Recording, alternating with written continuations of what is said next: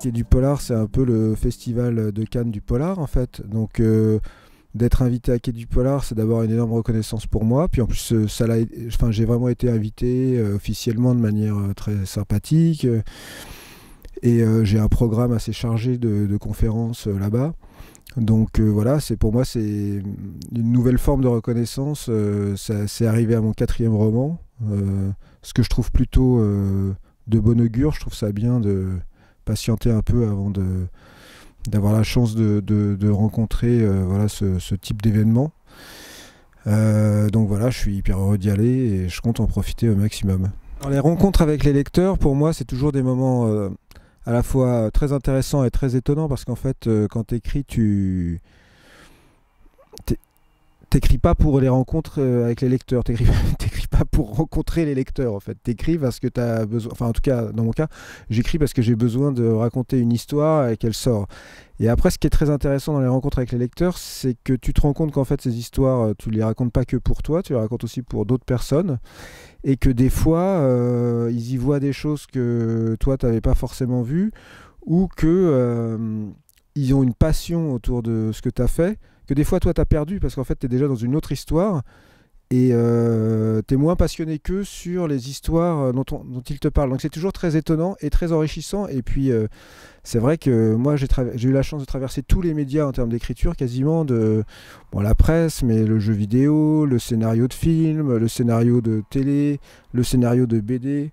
Et c'est le premier média dans lequel il y a des vraies rencontres avec mes lecteurs. Parce que par exemple, la série Alex Hugo que j'ai créée, il y a 5 millions de spectateurs euh, tous les mercredis euh, pendant tout le mois de septembre, mais personne n'a jamais entendu parler de moi et personne ne m'a jamais abordé pour me parler d'un épisode d'Alex Hugo. Alors là, depuis que j'écris des romans, maintenant, il y a des gens qui me parlent des épisodes d'Alex Hugo.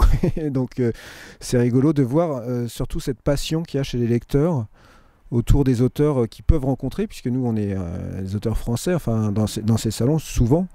Euh, puisque les étrangers viennent, mais quand même, euh, alors à Quai du Bollard, il y en a beaucoup, mais dans les, dans les autres salons, il y en a un peu moins.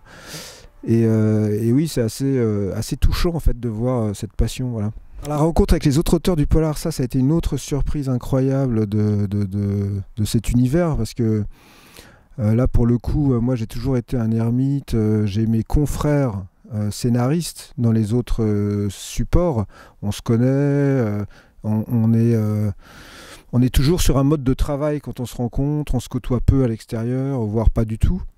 Et puis là, tout d'un coup, sur les salons, j'ai rencontré des gars qui sont comme moi, qui racontent des histoires dans, des livres, et euh, c'est devenu des copains en fait. il y a eu une, espèce de bienveillance et de camaraderie à mon égard quand je suis arrivé. Et je vais, je vais parler de, gens comme euh, Claire Favant, euh, Jacques Sausset, qui sont les premiers que j'ai rencontrés, qui m'ont accueilli à bras ouverts, qui m'ont présenté tout le monde. Après est venu Olivier Norek, Nicolas Lebel bien sûr Franck Tillier qui était mon copain mais déjà du scénario et en fait je me suis rendu compte que de manière assez généralisée dans le polar je pourrais pas le dire euh, à tous les enfin je parle pas de tous les types de littérature moi je parle uniquement des, des gens du polar une espèce de gentillesse et de bienveillance mutuelle euh, de de non-concurrence en fait tout simplement je dirais euh, qui m'a bah, qui m'a touché parce que ces gens en fait euh, que je connaissais pas il y a encore quelques années sont vraiment devenus des amis on se retrouve avec plaisir on passe vraiment de bons moments ensemble et on essaie de le partager avec les autres quoi